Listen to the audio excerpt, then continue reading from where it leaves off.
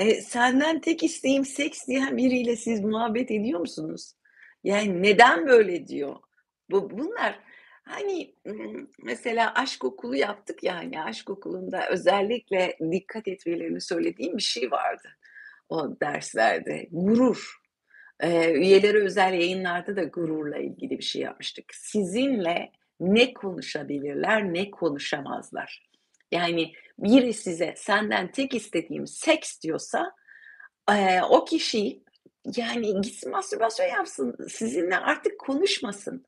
Engellemeyin, bir şey yapmayın ama onun yazdığı bir şeye bakmayın dahi. Yani, şey yapabilirsiniz mesela, Instagram'dan kısıtla yapabilirsiniz. Birini engellemeden yapabileceğiniz şeyler de var WhatsApp'tan, Instagram'dan.